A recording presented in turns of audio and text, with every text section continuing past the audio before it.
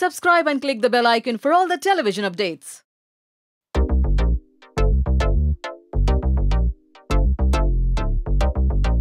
तो राज क्या कहना चाहेंगे? आज की शाम को लेकर सबसे पहले पहला कदम के नाम पर आए क्या कहना चाहेंगे? देखिए जहाँ तक मैं कहना चाहता हूँ निवेदिता बासु इन्वॉल्व है।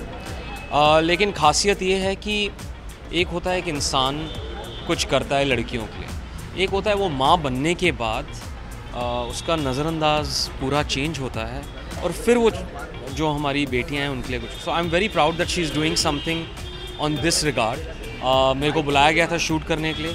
मैं तो वैसे ही बड़ा डरता हूँ, ये फ़ैशन मने एक्टर हूँ। बट स्टिल्स के लिए मैं थोड़ा डरता हूँ। But it was a very good experience काफ़ी इंडियन इंडियन में मैंने अपनी पिक्चर्स देखी नहीं है तो I see them but most importantly I like to wish all the best and the entire team you know as this से पहला कदम है।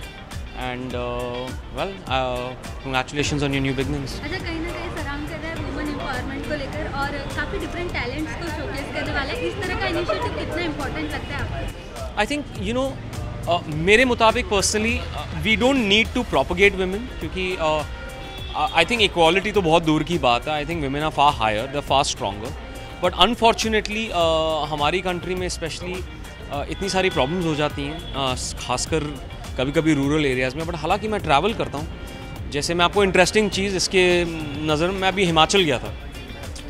तो हिमाचल में आई नो अभी this is boring for you but Himachal में जब आप पहाड़ों में चल रहे हो तो आपको दिखेगा उनका एजुकेशन सिस्टम इतना स्ट्रांग है उस स्टेट का। आई थिंक पूरे इंडिया को अपनाना चाहिए। और ज़्यादातर लड़कियाँ देखेंगी आपको, वो यू नो पहाड़ों के नीचे दो दो तीन तीन किलोमीटर दूर उनके गाँव हैं।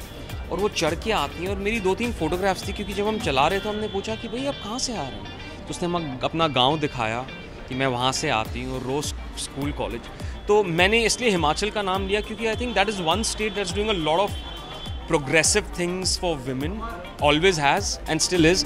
And uh, just like now for all the girl childs. अच्छा राज अक्सर आपको देखा गया है आप काफ़ी लुक के साथ एक्सपेरिमेंट करते रहते हैं काफ़ी टोन में पाए मैं तो बहुत बोरिंग हूँ। यार। बहुत अलग ही कुछ किया हाँ। मतलब कि पहले सोचा था मैं सच बताऊँ मैं बहुत नॉर्मल सूट हमेशा ब्लूज या ब्लैक्स में पा जाऊँगा या ब्राउन में। आज मैंने ना एक मैंने यूएसए में एक बड़ा जैजी रंग बिरंगा कोट लिया था। तो आज मैंने सोचा था आज मैं वो जैजी रंग बिरंगा कोट पहनूँगा थोड़ा सा डर गया।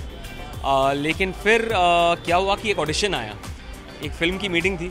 तो उन्होंने कहा कि सर प्लेन शर्ट पहन के आना तो मैंने ये कोट लिया और पहन किया आया। अच्छा पूजा अक्सर आपके साथ रहती कहाँ कहाँ छोड़ा पूजा इस वक्त if I am not mistaken कहीं पे मैनिक्योर पेटिक्योर करा रही है। उसे आना तो चाहिए अगर उसका मैनिक्योर पेटिक्योर खराब हो गया ख़त्म। Pooja there asking for you so please come आज मैं तेरे बिना एंट्री कर रहा हूँ।